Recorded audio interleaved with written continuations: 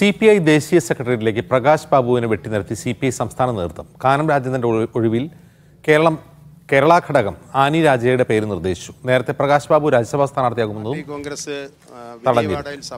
സമാപിക്കുമ്പോൾ തന്നെ ആനി രാജയെ സെക്രട്ടേറിയറ്റിലേക്ക് ക്ഷണിക്കാൻ ആലോചിച്ചിരുന്നു. ആ നിർദ്ദേശവും വന്നു. ഇപ്പോൾ ഒഴിവ് വന്നപ്പോൾ ആനി രാജയെടുത്തു അത് നല്ല കാര്യമാണ്. ഞാൻ അതിനെ പൂർണമായിട്ടും അനുകൂലിക്കുകയും ചെയ്യുന്നു സന്തോഷമേ ഉള്ളൂ. അത് വേറെ. അതൊക്കെ. അതും ഇതുമായിട്ടൊന്നും ഇല്ല ഇല്ല. അതിലൊന്നും ഒരു പ്രതികരണത്തിനും ഞാൻ ഇല്ല. അത് പ്രതിഷേധം രേഖപ്പെടുത്തിയവരോട് ചോദിക്കുക അല്ലാതെ എന്നോട് ചോദിച്ചിട്ട് ഒരു കാര്യമില്ല സംസ്ഥാനത്തെ ഏറ്റവും സീനിയറായ എക്സിക്യൂട്ടീവ് അംഗമാണ് താങ്കൾ. അത് അതൊക്കെ നിങ്ങളുടെ വ്യാഖ്യാനമില്ല? എന്റെ എന്നെ പോലെ തന്നെ സീനിയറായ ഒരുപാട് പേര് ഞങ്ങളുടെ കമ്മിറ്റിയിലുണ്ട് എന്ന അർത്ഥമില്ല. അത് ഞാൻ ഡൈ ചെയ്യാത്തതുകൊണ്ട് നിറച്ചിരിക്കുന്നല്ലേ ഉള്ളൂ. പ്രായമൊക്കെ ആക്കാൻ ഒരുപാട് പേർക്ക് ഒരേ പ്രായക്കാരാണ് ഇല്ല ഇല്ല ഇല്ല ഇല്ല അങ്ങനൊന്നും ഇല്ല. അനിരാജയ്ക്ക് അർഹതപ്പെട്ടതാണ്. അനിരാജയെ പരിഗണിക്കുന്നതിനകത്ത് ഒരു തെറ്റുമില്ല ഇത് വേറെ അതും ഇതുമായിട്ടൊന്നും കൂട്ടി കുഴക്കില്ല അതൊന്നുമില്ല അത് വേറെ. അതിന്റെ ചർച്ചയ്ക്കേ ഞാനില്ല. അതിന്റെ ചർച്ചയ്ക്കൊന്നും ഞാനില്ല. ഓക്കെ. ഏയ്. ഒഴിവാക്കുന്നതല്ലല്ലോ. ഒഴിവ് വന്നതിനകത്ത് ഒരാളിനെ ഉൾപ്പെടുത്തുന്നില്ല. അത് ഉൾപ്പെടുത്തുന്നതിന്റെ നിർദ്ദേശം വന്ന് നല്ലത്. ഇന്ന് പത്രത്തിൽ വന്നല്ലോ. എനിക്കറിഞ്ഞൂടെ എങ്ങനെ അത് പത്രത്തിൽ വന്നതെന്ന് എനിക്കറിയില്ല. ഇന്നത്തെ മനോരമയിൽ ആ വാർത്ത ഞാൻ വായിച്ചു.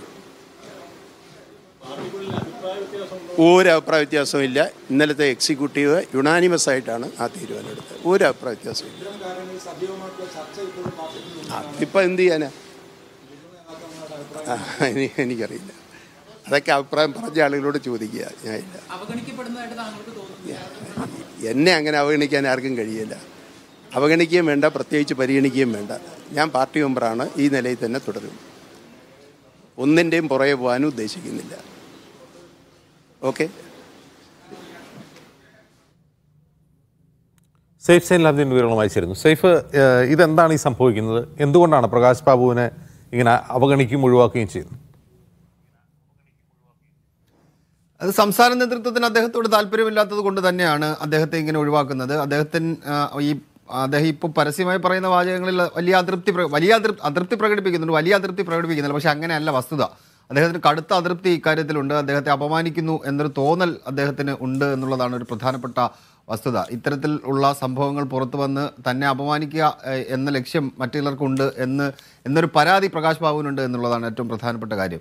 ഇതിപ്പോൾ അദ്ദേഹത്തിന്റെ നേരത്തെ രാജ്യസഭാ സ്ഥാനാർത്ഥിയായി പരിഗണിക്കുന്നവരുടെ പേരുടെ പട്ടികയിൽ അദ്ദേഹത്തിന്റെ പേര് പ്രധാനപ്പെട്ട ഒരു പേരായിരുന്നു. അദ്ദേഹം ദേശീയ എക്സിക്യൂട്ടീവ് അംഗമായിരുന്നു. അതുകൊണ്ട് തന്നെ അദ്ദേഹത്തിന്റെ പേര് രാജ്യസഭാ സീറ്റിലേക്ക് പരിഗണിക്കും എന്നാണ് കരുതിയിരുന്നത്. പക്ഷേ പി പി സുനീറിനാണ് ആ സീറ്റ് നൽകിയത്. അതും സംസ്ഥാന നേതൃത്വത്തിന്റെ തീരുമാനപ്രകാരമായിരുന്നു. കാനം രാജേന്ദ്രൻ മരിക്കുന്നതിന് മുമ്പ് പി പി സുനീറിനെ രാജ്യസഭാ സ്ഥാനാർത്ഥിയാക്കണം എന്ന് പറഞ്ഞിരുന്നു എന്ന് പറഞ്ഞുകൊണ്ടാണ് ബിനോയ് വിശ്വം ആ പേര് അവിടെ പരിഗണിക്കാൻ വേണ്ടി തീരുമാനിച്ചത്. അതിനൊപ്പം തന്നെ അദ്ദേഹം ഈ സംസ്ഥാന സെക്രട്ടറിയായി തിരഞ്ഞെടുക്കപ്പെടുന്ന സമയത്തും പ്രകാശ് ബാബുവിന്റെ പേര് ഉയർന്നു വന്നിരുന്നെങ്കിലും അവിടെയും പരിഗണിക്കപ്പെട്ടില്ല. ഇപ്പോൾ ദേശീയ സെക്രട്ടേറിയറ്റിലേക്ക് കാനം രാജേന്ദ്രൻ മരിച്ചപ്പോൾ ഒരു ഒഴിവ് വരികയാണ്. അതിലേക്ക് സംസ്ഥാന ഘടകം സംസ്ഥാന എക്സിക്യൂട്ടീവിലെ ഏറ്റവും മുതിർന്ന നേതാവാണ് ബിനോയ് പ്രകാശ് പ്രകാശ് ബാബു എന്ന് പറയുന്നത്. അദ്ദേഹത്തിന്റെ പേര് പരിഗണിക്കാതെ ദേശീയ തലത്തിൽ പ്രവർത്തിച്ചു വരുന്ന ആനിരാജയുടെ പേരാണ് സംസ്ഥാന ഘടകം. അതായത് സംസ്ഥാന സെക്രട്ടറി ബിനോയ് വിശ്വം ദേശീയ നേതൃയോഗത്തിൽ വെച്ചത്. അത് അംഗീകരിക്കപ്പെടും. ഇന്നിപ്പോൾ ദേശീയ കൗൺസിൽ നടക്കുകയാണ്. ഇന്നത്തെ ദേശീയ കൗൺസിലാണ് അതിന് അംഗീകാരം നൽകേണ്ടത്. ഏകകണ്ഠമായാണ് തീരുമാനം എന്ന് പ്രകാശ് ബാബു പറയുന്നുണ്ട്. അങ്ങനെയല്ല വസ്തുത. വസ്തുത സംസ്ഥാന നേതൃത്വത്തിലുള്ള രണ്ട് ചേരിതിരിഞ്ഞുള്ള പ്രശ്നങ്ങൾ തന്നെയാണ് ഇതിന് ഏറ്റവും പ്രധാനപ്പെട്ട കാര്യം. അദ്ദേഹത്തെ ഒഴിവാക്കുകയാണ് സംസ്ഥാന നേതൃത്വം ചെയ്തത്. മുതിർന്ന നേതാവ് എന്ന നിലയിൽ പ്രകാശ് ബാബുവിനെ ആയിരുന്നു പരിഗണിക്കേണ്ടിയിരുന്നത്. പക്ഷേ ബിനോയ് വിശ്വം അത് പരിഗണിച്ചില്ല. ബിനോയ് വിശ്വം തന്നെയാണ് തീരുമാനമെടുത്തതെന്ന കാര്യത്തിലും സംശയമില്ല. ഈ വിഷയത്തിൽ അദ്ദേഹത്തിന് കടുത്ത അതൃപ്തിയുണ്ട്. അതൃപ്തി ചെറിയ വാചകങ്ങൾ കൊണ്ട് അദ്ദേഹം പറഞ്ഞു വെക്കുന്നുണ്ടെങ്കിൽ അതല്ല വസ്തുത. ഞാൻ നേരത്തെ സൂചിപ്പിച്ച പോലെ തന്നെ അപമാനിക്കാൻ വേണ്ടി വാർത്തകൾ ചോർത്തി നൽകി അത് പൊതുസമൂഹത്തിന് മുന്നിൽ തന്നെ അപമാനിക്കുക എന്നൊരു ലക്ഷ്യം മറ്റു ചിലർക്കുണ്ട് എന്ന പരാതി അദ്ദേഹത്തിനുണ്ട് എന്നുള്ളതാണ് വസ്തുത. അജിംസ്. ശരി സൈഫ് സൈൻ ലാബ്ദിനാണ് വിവരങ്ങൾ നൽകിയത്